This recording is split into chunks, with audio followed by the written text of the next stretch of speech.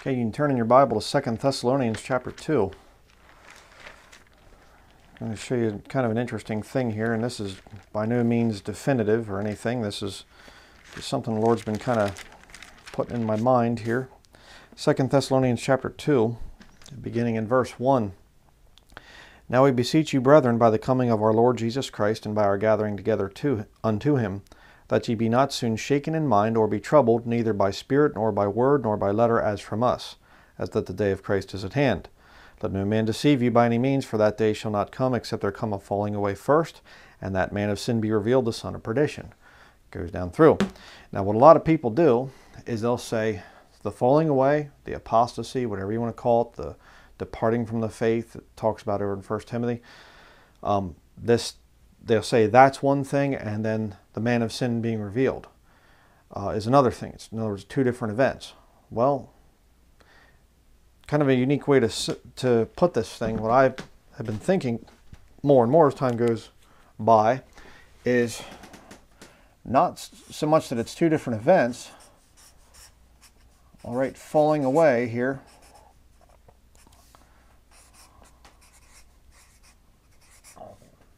the falling away actually causes the revelation of the Antichrist.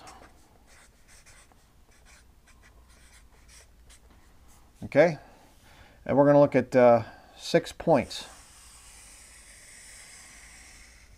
Six different things that enter into this falling away that we see falling away from positions that Christians have taken for a long, long time. And that this falling away is actually what is bringing in the system of Antichrist. All right, it's not that things get real bad and then the Antichrist just kind of shows up and brings in a lot of new doctrines. No, the new doctrines, the falling away is actually bringing in the Antichrist system. Making any sense on that one, hopefully. Point number one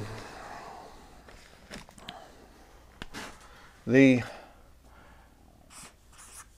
post trib rapture issue. Okay? That's part of the falling away in the end times. More and more people saying Jesus isn't coming. We're going into the Great Tribulation. They're giving up hope for Jesus Christ to catch away his bride before things get really bad.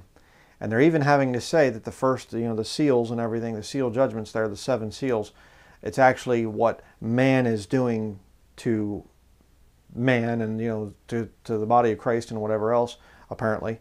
And there, there's even, you know, decent Bible-believing preachers that say, well, I still am kind of pre-trib, but I lean more towards we're going to be there for the first three and a half years. Uh, well, that's a real problem because the body of Christ is in heaven before the first seal is opened the 24 elders, and then you have the great multitude of angels after that. I believe representing, you know, in the in the resurrection we are as the angels of God. The Bible talks about. So you have a real problem if you say that Christians go through any part of the time of Jacob's trouble. After all, it is the time of Jacob's trouble, as I've said so many times. But this whole post-trib rapture thing, think about what they need to happen for them to say, we were right, we were right. What do they need to have happen? They can go over scriptures. I can go over scriptures. We can go back and forth. We could, you know, I debated these people for years and years and years. Comments, people writing me things, people sending me stuff, whatever else. Back and forth, back and forth, back and forth, back and forth. But what's going to be the real proof? If he shows up.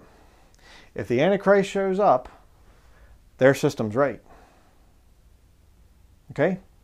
So they're not looking for Jesus Christ. I've said this for years and years and years post-tribbers, be they post-trib, pre-wrath, mid-trib, the whole way through the whole thing, whatever, if they're if they don't believe that the body of Christ gets caught up before the seven years starts, before the time of Jacob's trouble starts, before the first seal is opened, just so I can not let anybody get out of this thing. You know, always look for little loopholes. Well, is it does it is it really seven years? Is it is it you know the before the first seal is opened? Okay, if you believe that you're going to be here on the earth when the first seal is opened, which is the Antichrist being revealed, then you fall into this category here. Okay, for the sake of this argument here. You're a post-trib rapture believer. They need to see the Antichrist.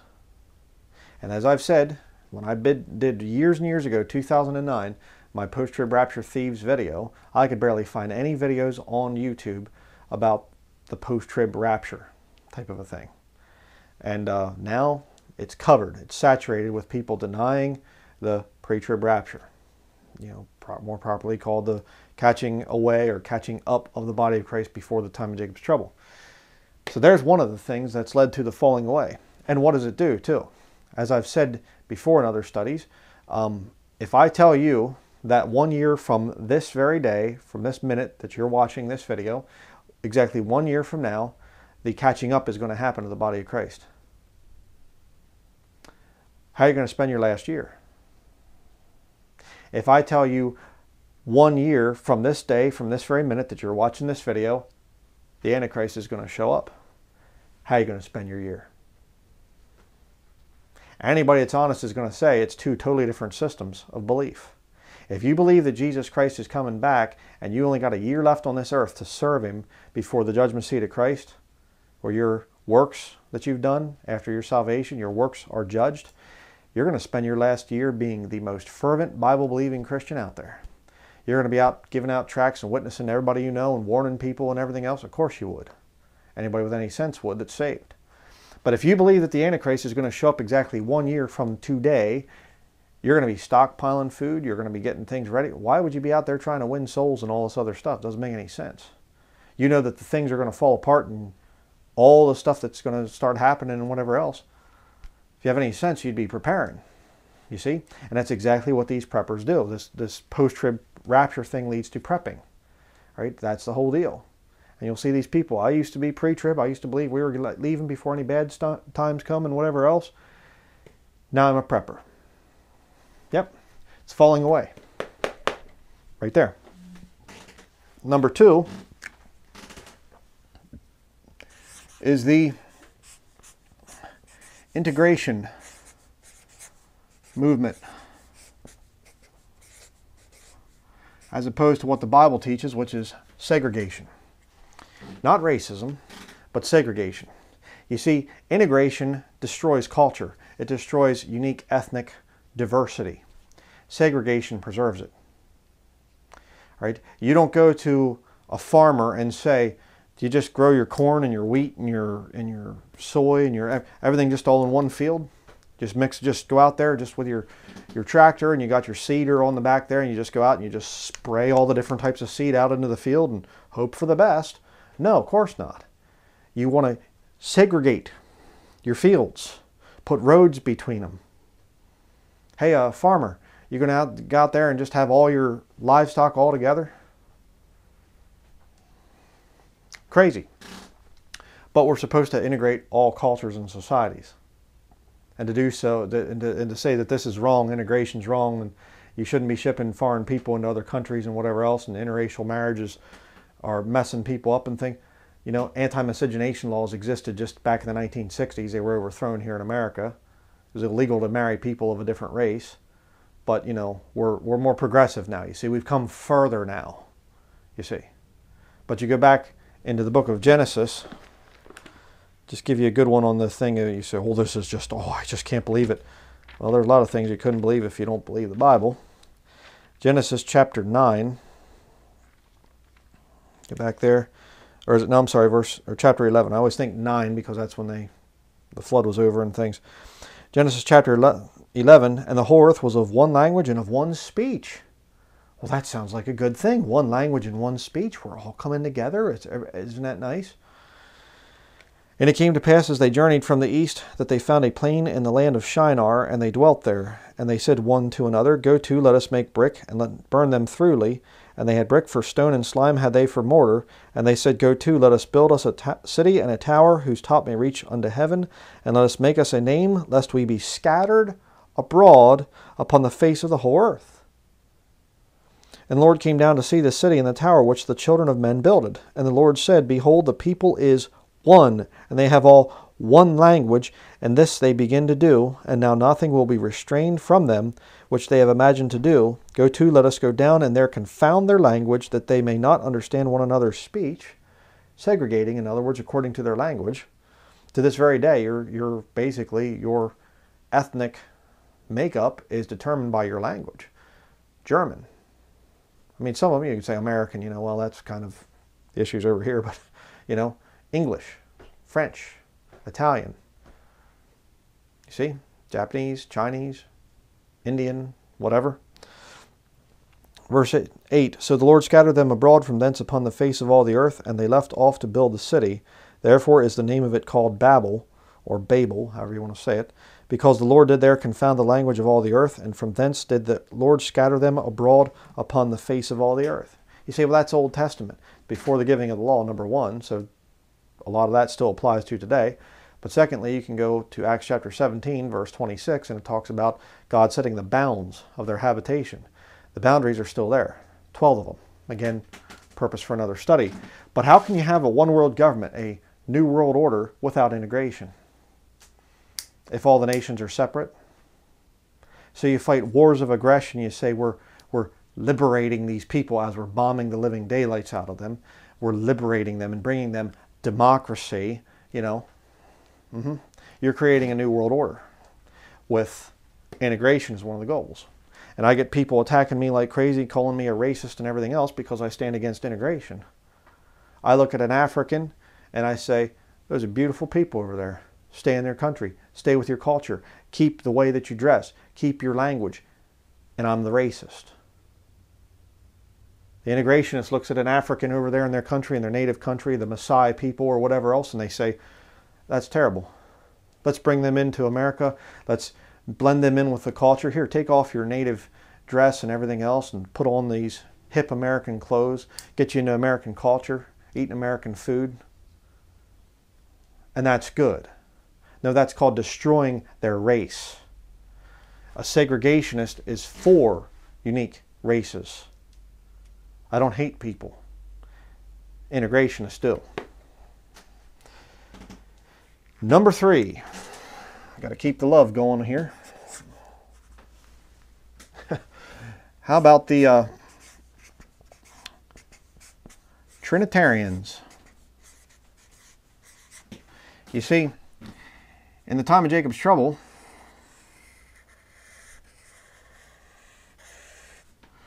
there's going to be three.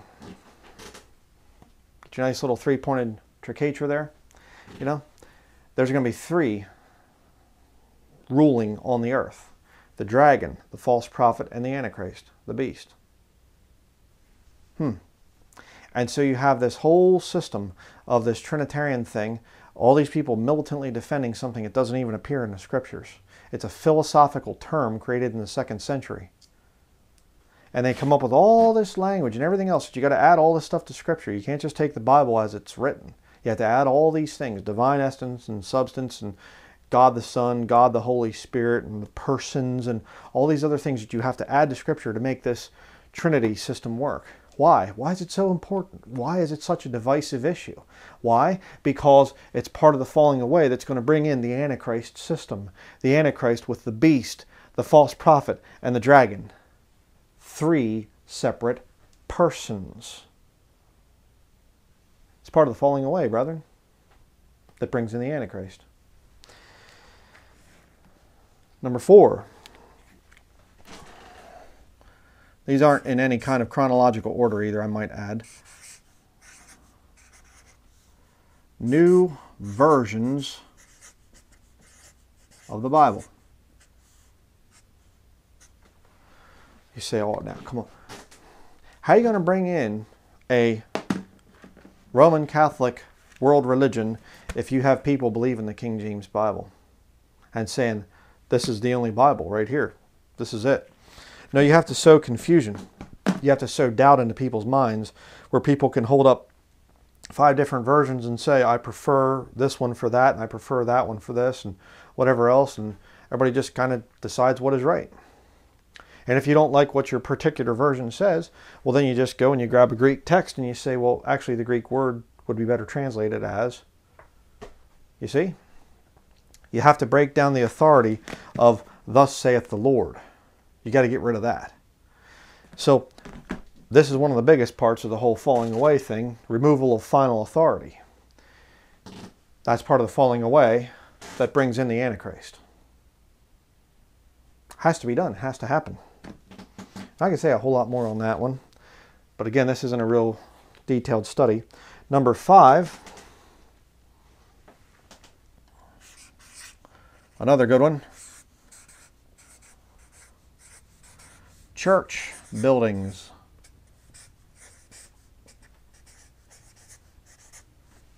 You say, oh, come on, come on here. Let's go back to the first century. Um, they're meeting in homes. They were meeting in fields. They're meeting in different places and whatever else. Um, and the whole Bible is finished. Last period there in the end of the book of Revelation gets done. And the Lord says, oh, oh, I forgot. I should have written something in there about building buildings and calling them churches and inviting the lost to them because you have a special Christmas cantata and, and uh, you have soul winning events to go out and invite people to your local church. Um, again, we see this peculiar thing of something that is added to Scripture, and yet people insist that you're part of the system. Kind of like uh, the Trinitarians, adding things to the Scriptures and then condemning you if you don't go along with their additions. Why is it so important to have church buildings? Well, because without church buildings, you can't worship the Antichrist corporately. You can't do it. If everybody's just doing their own thing in the time of Jacob's trouble, and you're not having to go to church and worship the beast, that's part of you know taking the mark, taking the mark, worshiping the beast in his image. Three. One, two, three. You, understand? Without church buildings, people just doing their thing at home, you could lie. You could just, oh yeah, oh sure, yeah, you know, whatever. You're not gonna lie when you have to be forced to go to church someplace, because the heretics that were there and everything else, these weird Bible believing Christians that left, they aren't going to say it was a catching up or anything. They'll just say that we disappeared or whatever other thing that they'll come up with, or aliens took us, or Lord only knows what. But we have to we have to make sure that you are with us and not with the terrorists anymore. And the war that will be there against Islam in the end times with the Roman Catholic Pope as the Antichrist. And he's going to, I mean, he goes out warring and, you know, conquering and, and warring and things. Who's he fighting against? Uh, Islam. but uh, they'll you know they'll, they'll blame all kinds of things on on Bible believing Christians and whatever else, and and you know they're going to use all these different things to get people into church buildings. I mean, again, if you ask the average person person where do you worship at, they're going to think about a church building. Why such a huge buildup of church buildings over the last two, three hundred years? Again, where were Bible believing church buildings three, four, five hundred years ago? They didn't exist. Bible believers for centuries, well over a thousand years, didn't have church buildings. Now all of a sudden, you just have to go to one. You have to be part of one, and if you're not, then you're kind of questionable as in your relationship with the Lord. Why is it such an important push? Because it's part of the falling away, brethren. The falling away that's necessary to bring in the Antichrist system. And you study again who brought in this whole church building thing and whatever else. Late 1800s, a lot of the big time preachers, and then going into the 1900s, a lot of them were Freemasons. What did Freemasons do originally? Stonemasonry. That's how the whole thing got started. Interesting that uh, a lot of these big church buildings were built by Freemasons. Hmm. And number six,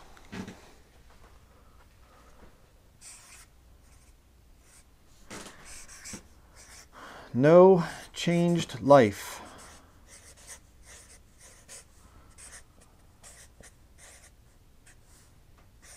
Gospel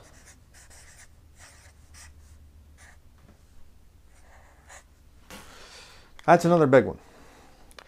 There's a major attack on repentance, uh, true biblical repentance that produces a changed life after salvation, where God, you know, the Holy Spirit of God comes into you as a, as a newly born again Christian, and your life changes. And all of a sudden, you are turning against sins that you didn't have a problem with before, and uh, just your whole your whole worldview, everything changes. But you see, that has to be removed by the modern Christians.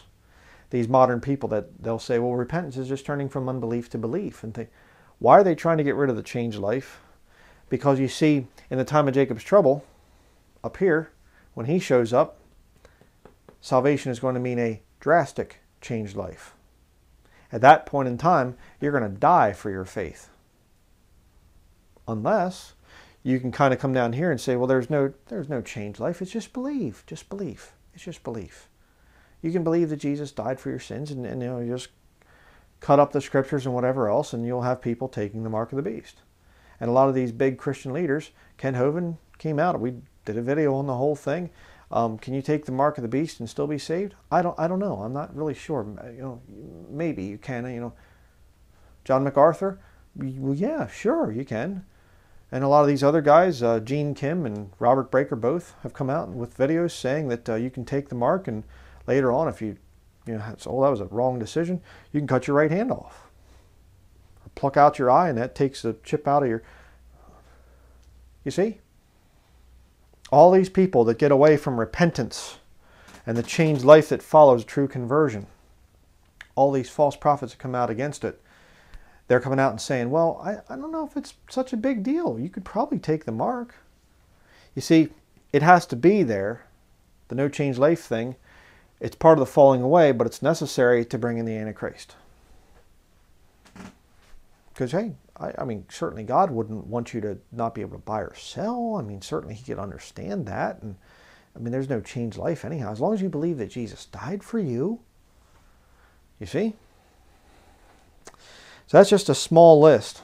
I could come up with probably a whole bunch more on here, but it's just kind of an interesting way to look at it. Again, you know, we were talking about this thing, and, and I've talked about it with some of the brethren as well, and that is, you know, I don't think it's two different things, the falling away and the Antichrist, as far as two separate, unrelated events, so to speak. I believe the falling away is what brings in the Antichrist. And all these things here are happening as part of the falling away, but they're all pointing to the Antichrist. The post trib rapture, they're looking for the Antichrist to prove themselves right. Integration, you can't have nationalism. You have to have internationalism, globalism. Trinitarians, they're looking for three persons, but all one God. Sitteth in the temple of God, showing himself that he is God How's he going to do that if he can't manifest three different persons? Think about that. The new versions remove the authority. So everybody does what's right in their own eyes. You see? And then you rely on a man to tell you what the scriptures say. The great scholar and whatever else, the ex cathedra statements of the Pope. How about a Pope that shows up that's supernatural and that looks like the paintings of Jesus Christ and brings great reforms to the Catholic Church and wages war against Islam. How about a guy like that? Could they look to him for authority? You see? Church buildings, part of the falling away. The last 300 years, it's been a steady decline in the strength of Bible believing Christians the strength and understanding of doctrine is going down as we're getting more and more church buildings. Bigger and bigger and bigger church buildings. You think the two are related? But you need the church buildings to worship the Antichrist. No change life gospel. Again, for years and years and years, it meant something to be a Christian. You go back to the first century and say, hey, you know, walking around among the Jews and you say, hey, for you Jews out there, if you get saved, not a thing's going to happen in your life. Nothing's going to change. They look at you like you're crazy. Same thing would work today. I mean, with a Jew today, go over to Israel and say, hey, you know, accept Jesus Christ as your Savior, nothing will change. They're going to say, are you nuts? My whole family, they'd, they'd try to kill me if I got saved. But in America, you can have salvation. It doesn't have to mean anything changes. You just study the Bible and you learn the right things to say and you watch videos and you listen to some tapes and whatever and you play Christian. Mm-hmm. All six of these things are the falling away and all six of them are necessary to lead into the Antichrist system. Please make sure that you're not deceived in any of these points here. Again, if you have questions on this stuff, I've got uh, close to 1,500 sermons, or videos, I should say. They're not all sermons, some are announcements or whatever other kind of things. Um, but well over a thousand doctrinal studies out there. Right? There's other good channels out there that talk about the same things. Pray. Ask the Lord to show you the truth. Um, because when the body of Christ leaves, you're there. And salvation at that point in time is going to mean you losing your head. You get killed, martyred. Get saved now.